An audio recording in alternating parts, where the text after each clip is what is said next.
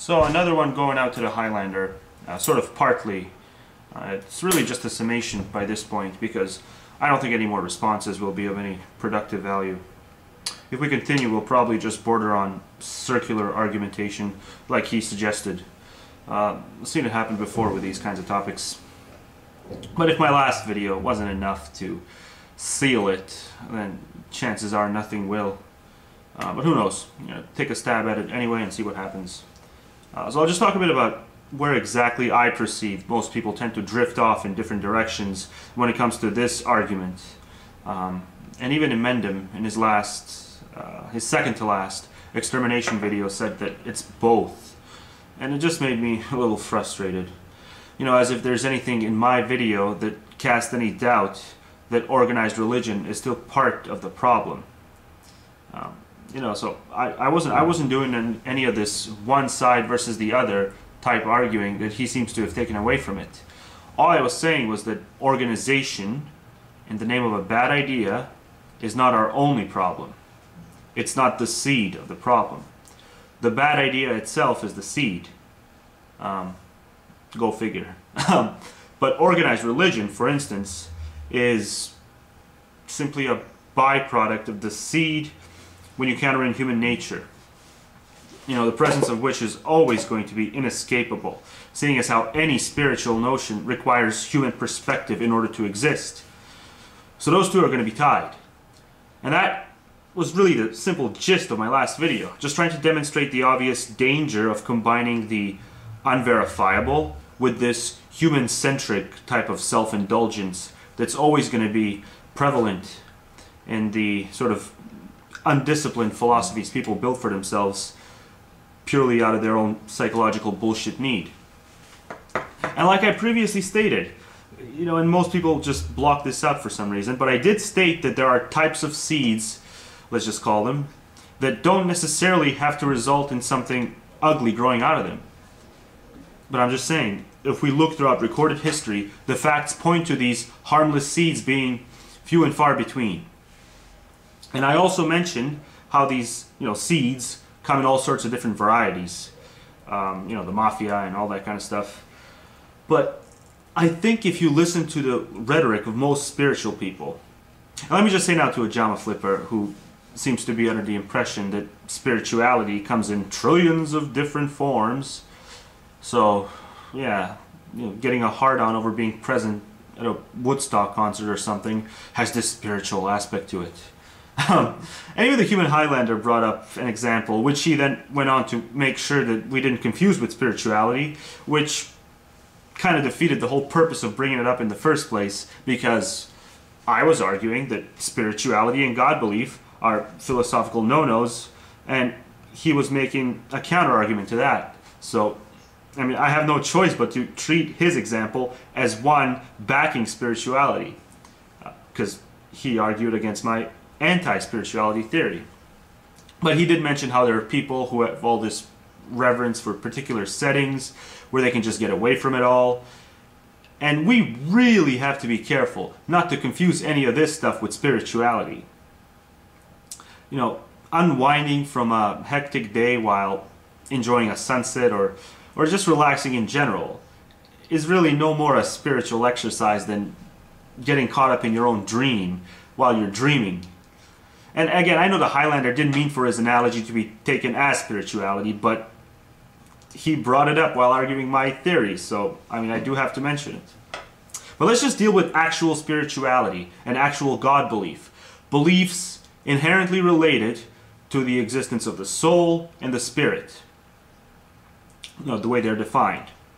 So, based on observable evidence that I wish wasn't true, but it is, but the overwhelming majority of these people although they have no affiliation with any organized religion or any variation thereof, they're still taking part in a dangerous level of self-deception.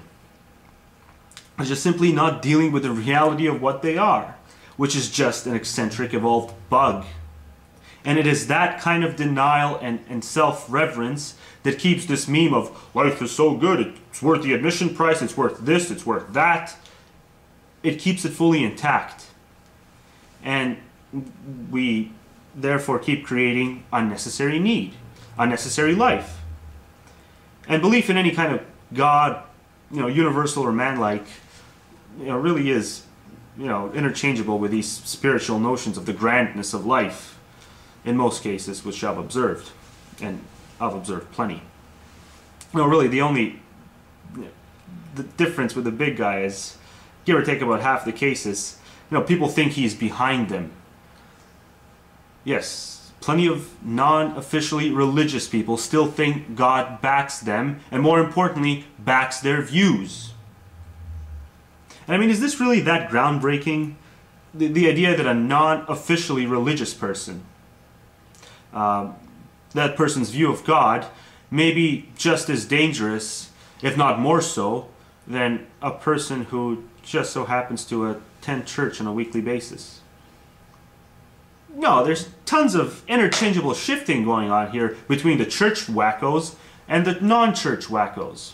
But the bottom line is when both camps are added up in total, very few individuals in those camps get by without creating unnecessary messes uh, through their core fundamental beliefs of traditional life is a gift type thinking.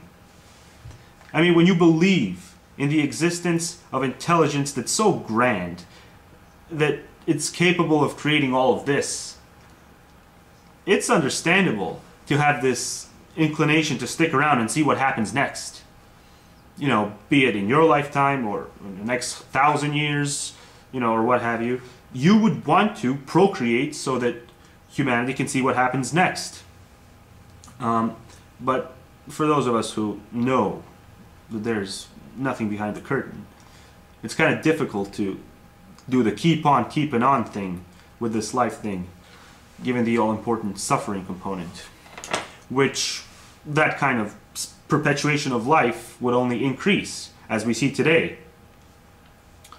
Um, all because the spirit is all too often driven by its curious motive of, well, what's behind the curtain?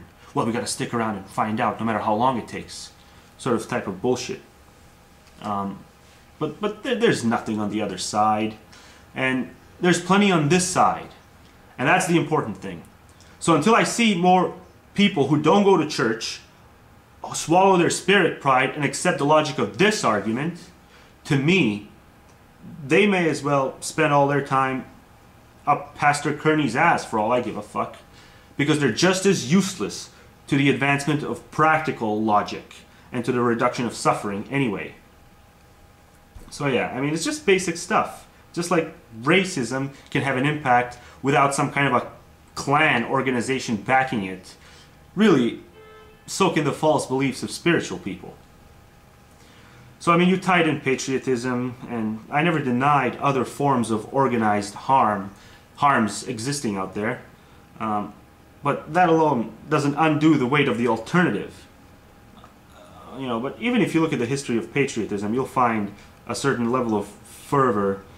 Um, well, it, it was contributed to the by the God with us type of attitude that most people tied into their country of birth. And, and just to point out, I don't buy into this idea that most moderates don't truly believe in God. Um, know, just because they haven't thought through their belief in God doesn't mean, doesn't create this lack of belief element that Gary and you suggested it does. You know, if anything, them not thinking their God belief through is most likely precisely the reason why they are theists, not why they're not. Um, so yeah, I guess I'm not going to have much time to deal with the government stuff. Um, you know, you brought up the, you know, the history of governments and all that, and all I can say to that is, you know, throughout history, we didn't have the necessary technology to impose this kind of rigid accountability that we can now. You know, the polygraph examinations and all that kind of good stuff. Um, and as for the rest, I, I still come away un uncertain about the amount of topic that we disagree with, the amount of stuff in this topic that we disagree with. Uh, you know, I did notice you pointed out how you don't sympathize with anarchist philosophy, and I, I mean, I already knew that, so sorry if there was anything in my video that made you feel the need to actually point that out. It wasn't my intention. Um, and you asked about the rich, and if I'm humoring you, and I mean, the rich are rich, and they have influence, but it's just so clear to me that they're going in all sorts of different directions. And if they were all marching in the same tune, we would have felt the sting of their oligarchy by this point. And the world as we know it now would actually look quite good by comparison. Uh, I mean, when you combine them all, it's just a frightening amount of money, ergo, ergo control that they possess. And it's, it's funny, sometimes I wish that they, they were as organized as you think, in a way, because then those, um, those globalist population reduction missions would actually get fulfilled, and we'd save, a, you know, few poor fuckers from having to be born. Um, but yeah, but I, I still can't help but view the average truther type rhetoric as a distraction to actual solutions. Um, and I guess I'm not going to have time to get into that. So maybe uh, a bit more to finish up in the by the way that's upcoming this week. Uh, but yeah, that's it. That's